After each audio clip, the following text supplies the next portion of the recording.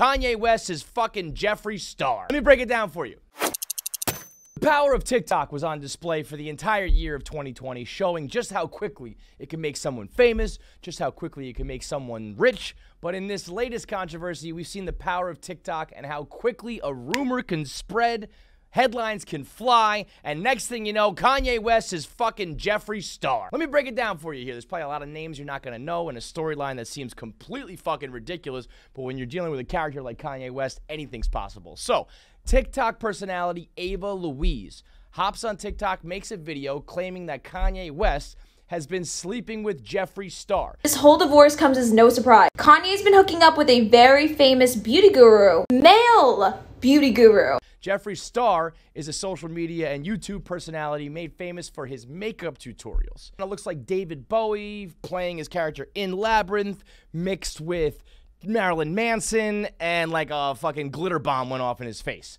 Ava Louise claims that the reason why Kim Kardashian and Kanye West are splitting up is that because Kanye West has been blowing Jeffree Star, saying that they lived together in the same gated community. And then when Kanye West moved out to Wyoming, Jeffree Star followed. He's been living in Wyoming, and that the lawyers all know about this, and he is the cause of the divorce. Another TikTok personality makes his own video referencing Ava Louise's, talking about the coincidences and the similarities all lining up. Continuing, we all know Kanye West has been at his ranch over the summer and the last month but guess what other beauty guru announced he was moving to Wyoming in August?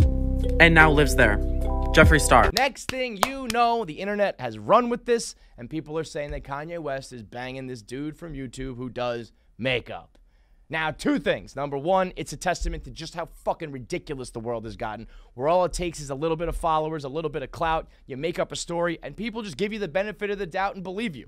Number two, I think the reason why people are believing this is because Kanye West has officially entered the Tyson zone, where you'll believe absolutely any and everything said about him. You got a guy who looks like Jeffree Star, who's a complete fucking wackadoo on his own right, and then you got Kanye West, who says and does things and lives a lifestyle that is from another fucking galaxy. So when you hear about him sleeping with someone or living somewhere or doing something ridiculous or hey, this is the reason why his high profile celebrity marriage is falling apart, kind of like, well, the shoe fits.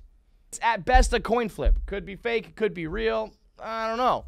And honestly, even at this point where it's pretty much been completely dispelled as a rumor, I don't I don't know if it is. I, I feel like I feel like maybe it did happen. Now, this chick, Ava Louise, has since put up more TikToks basically admitting that she was just bored and wanted to stir the pot and she was clout chasing, putting up videos saying how Kim Kardashian is now suing her and talking about here's the outfit I'm going to wear in court when I have to face Kim K.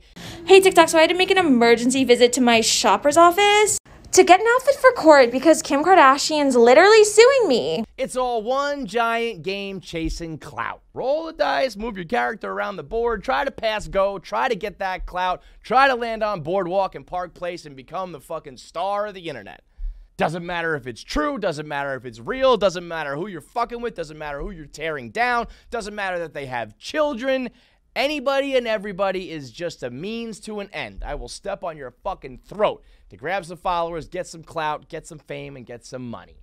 That's what assholes like Ava Louise and Cole Carrigan do. Even Jeffree Star, as soon as the rumor came out, didn't dispel it. He put up ambiguous posts saying, oh, I'm going to go to Sunday service, or oh, 2021 is pretty intense. He wasn't interested in saying this is just a rumor because he, being linked to Kanye, is good for business for him. Even if the world is saying this dude is blowing Kanye West out in a fucking farm in Wyoming, Ain't no such thing as bad publicity. So whether you're making up the rumor or running with the rumor or you're the subject of the rumor and don't even care to dispel it, it's all about one fucking thing.